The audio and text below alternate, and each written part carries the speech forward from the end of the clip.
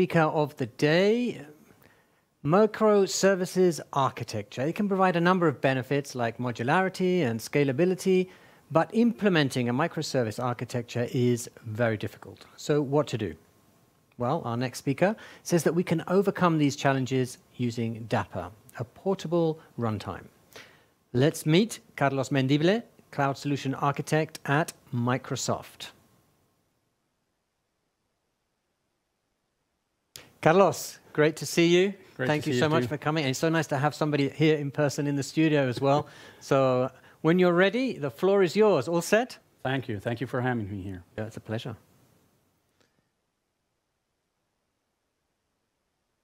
So I, I don't have a slice here. Oh, no, no. Okay. So now I have it. Okay. So, so uh, thank you for having me here. I'm gonna um, talk to you about how to overcome these challenges with uh, event-driven microservices uh, today. Um, uh, as you know, the world today is uh, really uh, distributed, uh, but we started, and, and still today we have applications or solutions that are um, uh, created or deployed as, as monoliths.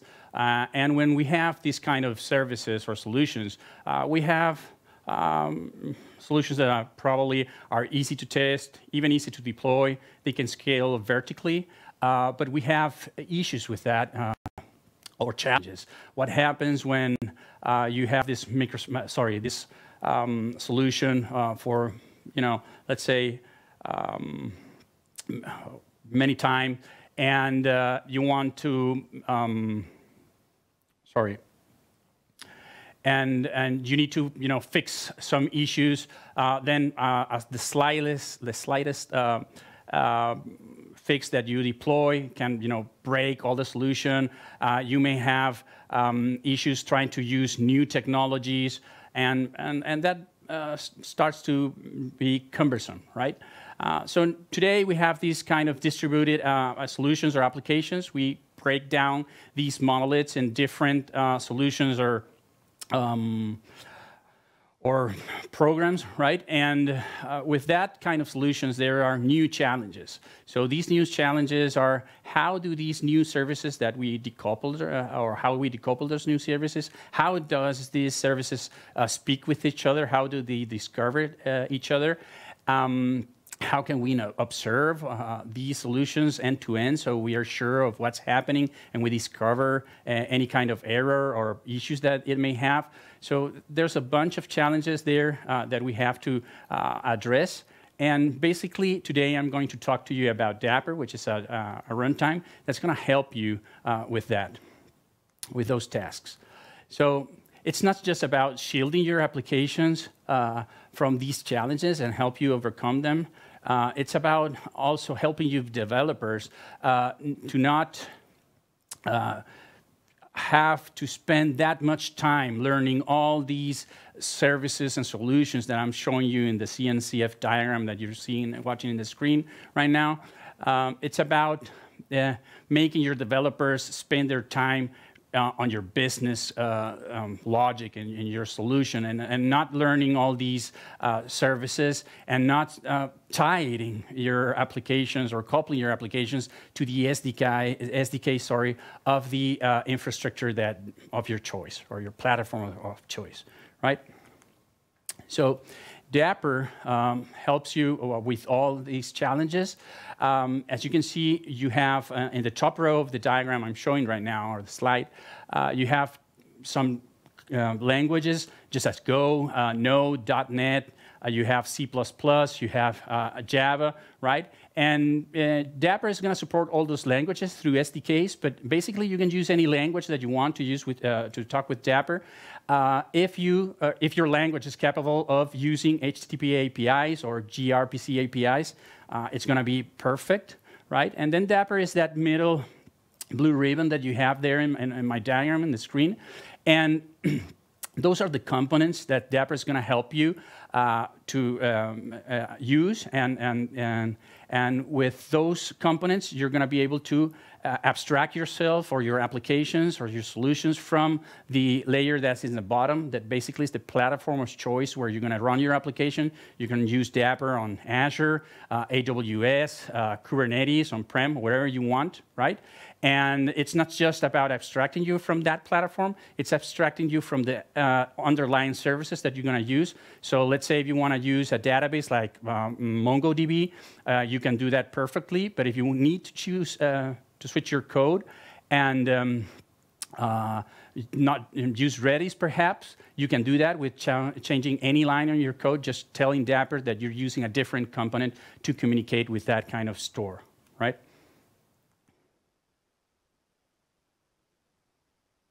Okay, so let's talk a little bit about Dapr and its building blocks.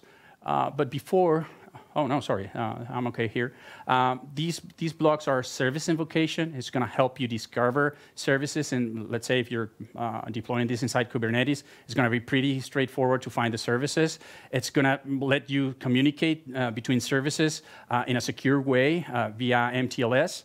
Um, you're going to have state management that's basically going to help you uh, with all uh, state management. Let's say you have like mm, uh, a microservices uh, that is charge of, um, of, of, a cart, a shopping cart. Then you want to save that information in state. Well, uh, you're going to do that pretty, uh, pretty easy with Dapr.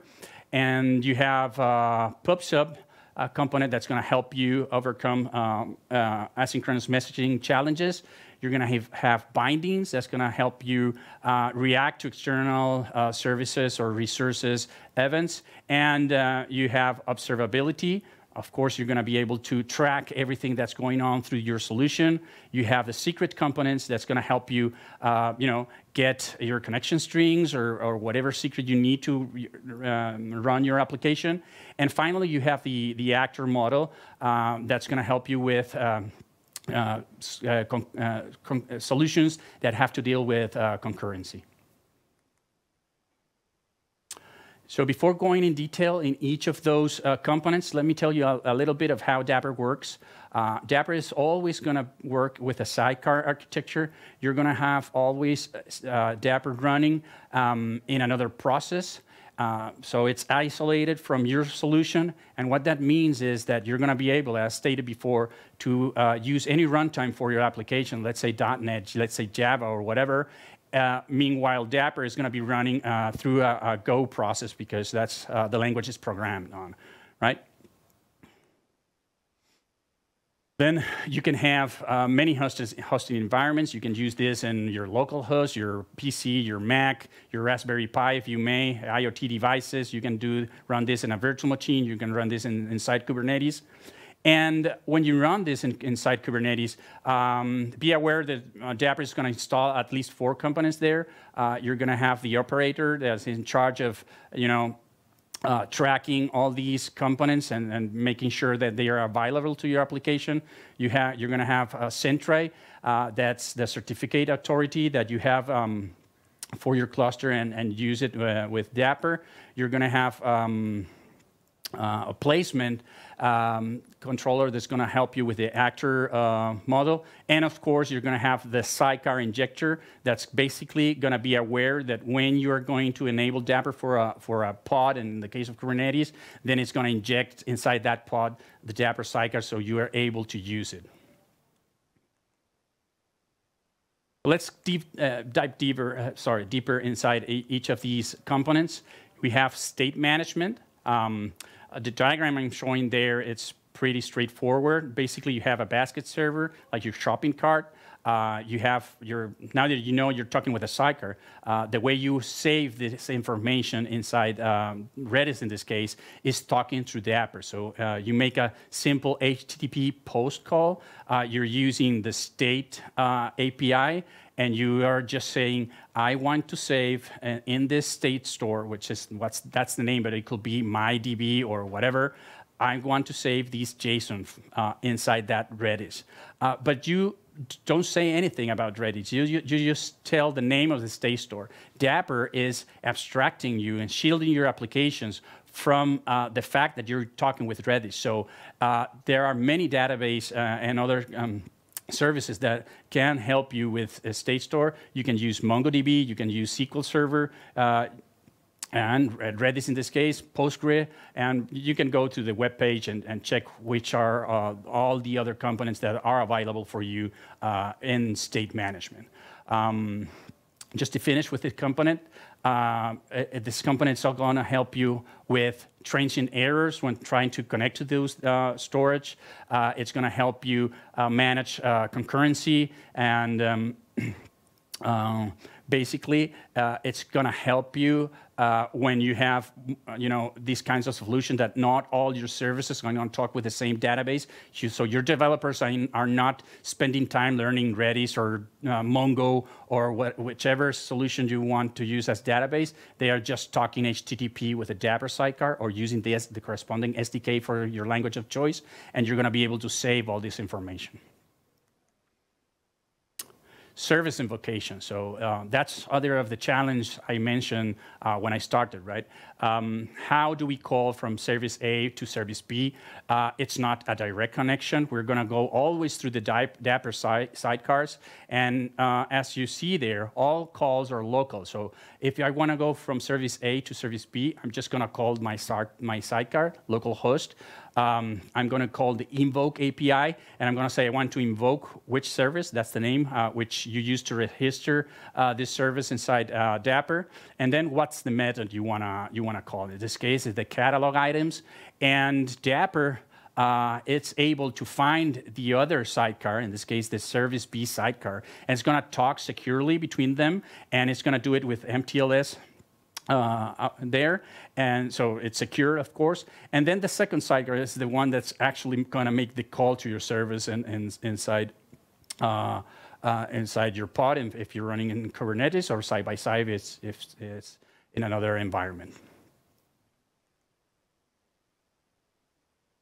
So what about asynchronous messaging, right? Uh, you want to decouple your applications, your, your microservices, you want to decouple them. Uh, you want to use uh, perhaps RabbitMQ, you want to use Azure Service Bus, you want to use Kafka. Uh, but if, if you do that as we are used to, you're going to tie your application to that solution, right? Uh, if you don't want to tie that, uh, you can use Dapr, of course, and it's going to help you with this. So basically, you're going to have your services that, that subscribe or your services that publish messages, you, talking directly to Dapr or receiving those messages from Dapr, right? And that's going to shield you from uh, all the issues that you may have um, uh, with PubSub. And uh, it's going to um, at least deliver each message once, okay? So uh, in the diagram, you can see that you can use either RabbitMQ or, or, so yeah, or Azure Service Bus.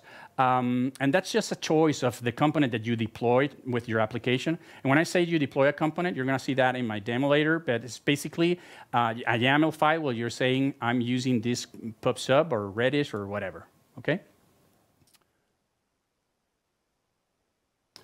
What about bindings? Bindings is a way to react to uh, external events or send events to external resources. So in the diagram I'm showing here, uh, you can see that Dapr is reading message for a tweet from a Twitter feed and basically sending those messages inside your service. So you can, you know, uh, read those messages, save those messages. Uh, I'm going to show you in the demo that you're going to be able to analyze those messages with cognitive services, cognitive services, sorry. And once you do that, perhaps you want to send an SMS or you want to send an email through uh, SendGrid, perhaps, then Dapr Binding is going to help you with that. So you don't have to deal with how Twilio works or how Twitter works or um, HTTP triggers work or cron even. Uh, those are components that are there. You have Apple push notification supported. So Dapr is shielding your application and your developers from all that cumbersome stuff right? And you're able to react uh, in a serverless kind of way uh, to those events or send events to the outside world. And it's pretty neat. Of course, any of this wouldn't make sense if you couldn't be, uh, or if you couldn't uh, monitor or observe what's going on uh, with all your solutions. So uh, Dapr um, is going to um, expose the metrics and, and the logs and the telemetry necessary to, for you to be able to track everything that's going with your, on with your solution, as long as you're using Dapr, of course. And the way it does it is that publish this information through open telemetry, also open standards, right? Um, and um, by default, it's going to send that to uh, uh, Zipkin server, if, uh, if uh, service, if, if, if I may, right? So once again, you can use, uh, you can plug any login solution uh, to once you're using Dapr because Dapr is exposing all this information through open standards. So again, uh, it's pretty easy and straightforward, and you're going to see that uh, in my demo in a couple of minutes.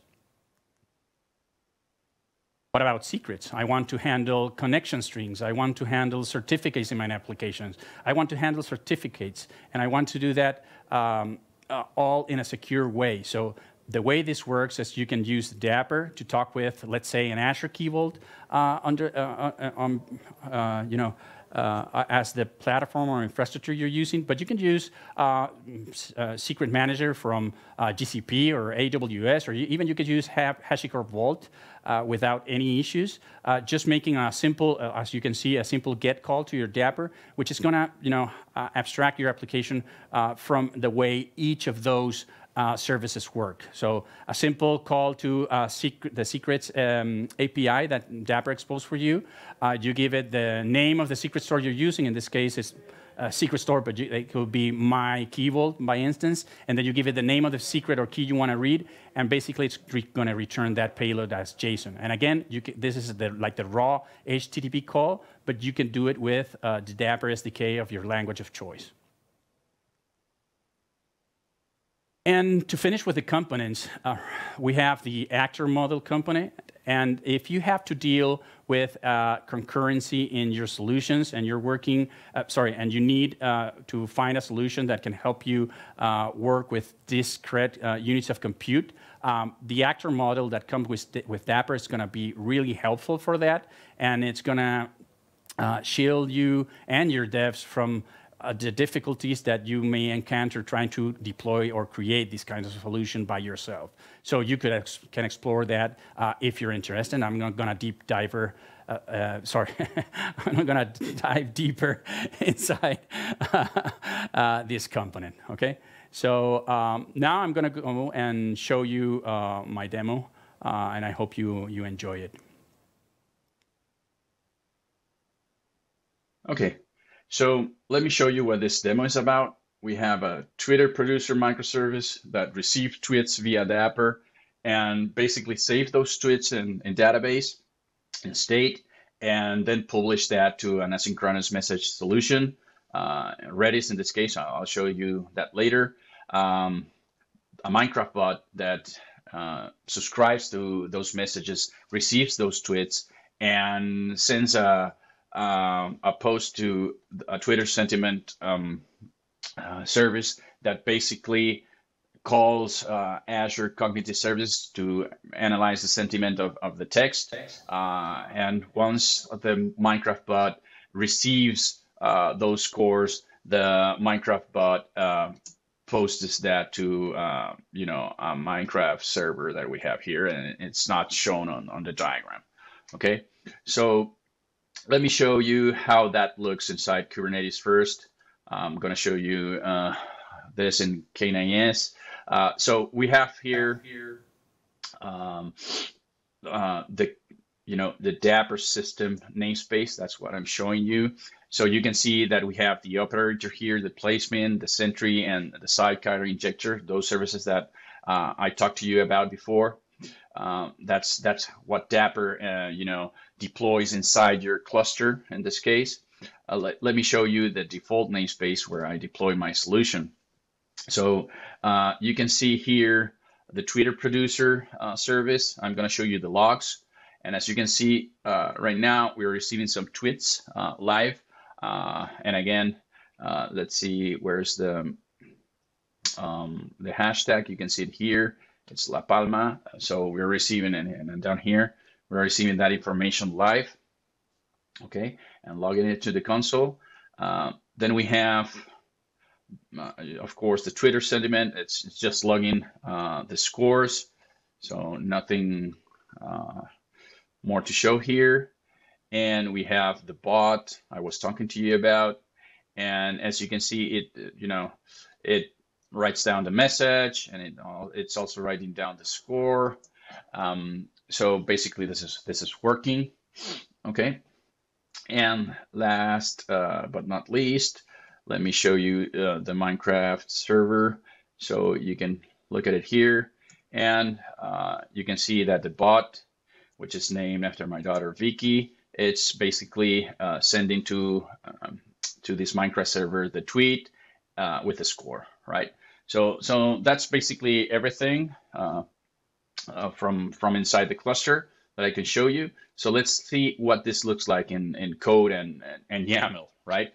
Um, so this is um, what the famous components I've been talking to you about uh, look like. Okay, um, this is um, the the Twitter uh, binding component that I'm using. Uh, we have a bunch of information related to how we connect to Twitter. That's what Dapr is using to connect to Twitter. And look at this down here. Uh, well, first, we're querying La Palma, as I told you, and look at this. We're using a secret store named Secret. So all this information that we have up here right? All this information, that information is coming from a secret store. So let me let me visit that secret store uh, just a second. Um, we have it here, and again, this is a Dapr component. Its name the name is Secrets, and we're using in this uh, demo uh, an Azure Key Vault. But uh, as stated before, you can change this with a, a, local JSON file, environment files. You can use Secret Manager for any other uh, cloud provider or even something that you have on-prem. And this is the information related to how we connect to that key vault in, in this case. So going back to the Twitter uh, component, um, and you can see here the secret refs, right? So this is extracting the information from the key vault or any other uh, secret store that you're using in this, uh, in your case, and uh, injecting that on on the component itself on at runtime. So the last thing I, I want to show you here is look at the tweets uh, uh, name for the component. That's the name I added to it. And I'm going to show you the, on the right side uh, the code. Um, this is a um, ASP.NET Core application. So uh, I'm using the SDK that, that's created for .NET and, and Dapr. Uh, I'm injecting the Dapr client here. And this section down here it's uh, where we're saying uh, subscribe to um, uh, any bindings that are needed. And look at this. The route that I'm exposing in this application is named Twits.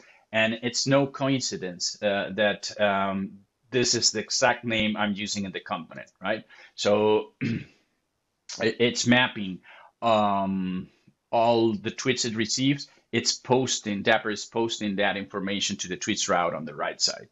So once uh, we receive those tweets, uh, and we, we receive the text of those tweets here, uh, what we do is we save that information in state, and it's it's really simple. Look at the we're we're using a state DB, we're using ID and, and the body of the tweet. That's all we need to save state in the, in our microservices.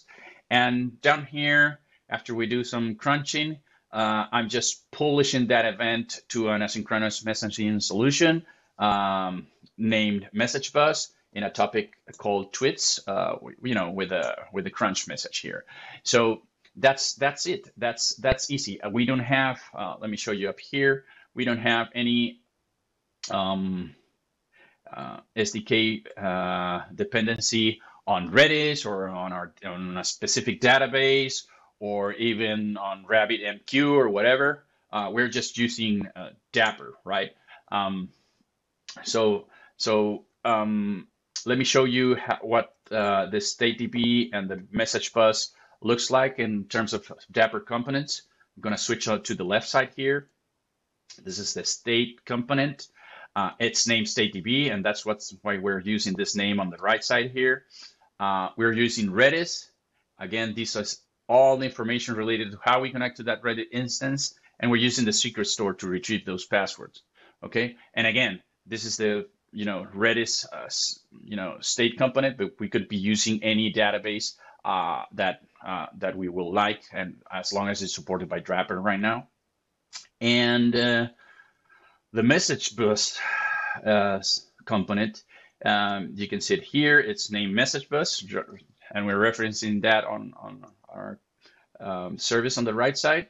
Again, this is all uh, we're using to connect to the to the component, the secret reference, and, and we're using Redis, but we, we could be using Event Hubs, uh, RabbitMQ, or whatever, uh, and we wouldn't have to change a line on our, our program on the right side, right? Uh, and that's that's pretty interesting. Um, for convenience, I use Redis on on my Docker and on on my PC to to test this uh, this solution. And for convenience, I also deployed the same Redis uh, component inside the uh, AKS cluster, the Kubernetes cluster I'm using.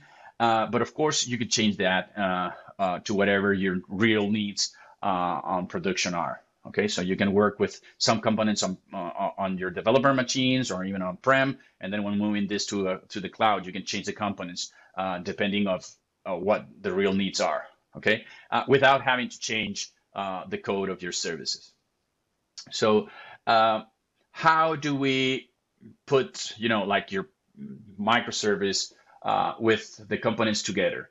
Well, basically, you deploy the components in, inside the Kubernetes cluster, right? And then when you deploy uh, your application, you have to tell Dapr to inject the sidecars by enabling Dapr through an annotation here and giving in, giving that service a name, uh, just in, for service discovery, uh, telling Dapr what port uh, your application is listening on, so it's capable of posting the, in this, this case, the tweets to, to your uh, tweets route, right? Um, and telling about the tracing configuration that basically enables uh, what you what I saw you uh, first, uh, the tracing and and in this case uh, all the metrics that we could see in we can see in in Zipkin. Okay, that's that's like the Twitter producer um, um, service. Then we have the Node uh, microservice here, uh, which is basically the bot. And look at this uh, up here, right? Uh, we're creating a route, this Dapr subscribe. This is where we're telling uh, Dapr that we want to subscribe to uh, PubSub named message bus, that we want to hear anything that's received on the topics uh, uh, named tweet, and to please redirect all that information to a local route that's called tweets. So uh, we're going, you know, uh, without SDKs in, in, in this microservices, um, microservice, sorry. And down here, you can see this is the, the tweets route. Uh, we receive the, the raw data and we're using Axios to post uh, that to a sentiment uh, to the sentiment microservice. And this, uh, you can see up here that the URL we're using is we're calling localhost on the Dapr port, so we're calling our sidecar uh, and invoking uh, the Twitter sentiment uh, service uh, to the and the sentiment method, right?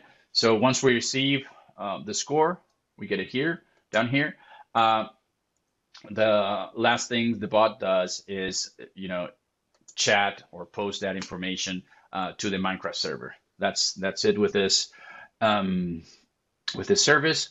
And let me show you the sentiment uh, um, service. Sorry. So uh, again, this is an ASP.NET Core application. We're using uh, Dapr here. And uh, this line here is really interesting because uh, I'm using the SDK here. And what this line does is uh, it's telling um, Dapr to inject uh, all the secrets that it finds on the secret store named secrets inside my configuration in, in this uh, solution. So what it, this is doing is loading all those secrets that I had in the key vault I mentioned before uh, as configuration inside this, this application. Uh, you can see um, we're exposing a sentiment route. And down here, we're reading that configuration, the, the cognitive services key. This is what is uh, we're going to use to call the Azure Cognitive Service and do uh, the sentiment analysis down here. And once we receive the score, we basically uh, write it to the logs that uh, was I show you, and return that uh, down here uh, to uh, the bot uh, microservice. Okay, so basically you just saw that defining some components on on the left side, right, and deploying that to your cluster, and then using um, the Dapr SDK, which lets you lets me go to the producer again, which lets you save state or uh, publish down here uh, very easily uh, the information. Uh, you can you can do it with the SDK, right? And you have a direct dependency on your code with Dapr, or you can use uh, uh, you know a manual approach like I did on on the Node application, where we're basically uh, doing raw calls uh, or subscribing to events, uh, just telling Dapr via some explicit route that we want to you know subscribe to message bus with this topic and and where to send that information right? It's it's really really really that simple so going back to um, to the diagram here uh, let us refresh a little bit uh, let me start again here uh, so we can run the query uh, since all the calls that you saw um, that we're making are, are being done through Dapr, we could see all the, you know, all the telemetry related to that, to those calls, right? And of course, the dependency tree that we were uh, looking at uh, when we started. And here you see again the, the Twitter producer, um, the Minecraft bot receiving that information and a Twitter sentiment doing something. And you can see here uh, clearly that I have some issues there that I should repair in the future. Uh, but uh, I think you, you got uh, the sense of what we we can do with uh, Twitter with little code, uh, almost no dependencies on on you know the features that we're using in this case on uh, in the cloud. Uh, you didn't see any line referencing the key vault, for instance, directly in our code, but through Dapr we're abstracted from that. So that's basically what I wanted to show you today. I had one, but it's not it's not showing up here. I don't know why. so, uh, well, that, that's basically it. Uh, uh, I hope you had a glimpse of what Dapr can do for you.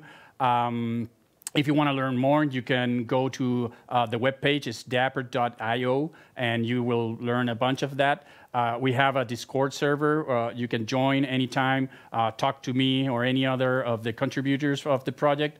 And there's also a, a free ebook you can find online too. It's called uh, uh, named Dapr for .NET developers. I know many of you uh, are not .NET developers, but it's a pretty straightforward book to read. It's really simple, and it's going to help you understand how Dapr or how can you adapt, uh, adopt Dapr in, in, in, your solutions. So um, that's it. Oh, now my slide is on here. so feel free to scan that QR code for more information. And uh, thanks, uh, thanks a lot.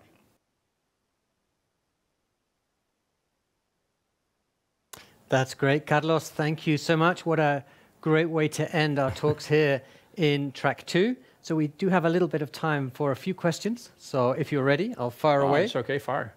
Uh, Emilio asks, um, if we need to connect real time, is the bus shared? And I think he's concerned about performance issues. Okay, so well, uh, first let me address the performance part. Uh, Dapr is, is reading co uh, sorry, written in Golang. Uh, it's really performant. Uh, usually, the impact on your applications is going to be under the millisecond, right? Uh, if you're worried about how um, uh, live this information is going to enter your application. It depends on the service you're going to consume and, and, and the bindings you're going to use. Uh, what I show you in the demo basically is uh, get, getting all the information live from Twitter. It was kind of slow because I didn't use like a popular hashtag, but I'm sure if you, if you uh, put like COVID-19 in that sample, it's gonna you know burst uh, all that information inside your your solution, and you're gonna have to you know uh, process it as fast as you can. I don't know. I, I hope you I answer your question. I hope right? so too. so a final question uh, for you, Carlos. How, how does Dapr compare with Service Mesh solutions? Okay. Uh, that's that's a question that that appears uh, when when we talk about Dapr because uh, we talk about observability and we talk about securing uh, calls between services. So uh, yes, we have that M MTLS there. Uh, so it's a gray zone, right? Uh, but there's a difference. Uh, Dapr abstracts you from uh, things that you have to be aware in your application and the services you have to use. Service mesh uh, are, are, worried or address an issue with networking. So um, let me try to explain it this way. You probably are not gonna see Dapr ever dealing with A-B traffic splitting. Uh, that's something service meshes uh, do for you. Uh, and you're not going to probably see any service mesh abstracting you from a database or Azure Key Vault or you know, a secret management um, solution. So I hope to answer uh, your question with that one too. Carlos, that's great. We are now running against the clock. So uh, all that remains for me is to thank you once more. Thanks very much for this amazing talk, for your time, and for the demo. Thank Thanks. you very much, Thanks. Carlos. Thanks a lot. Thanks for having me.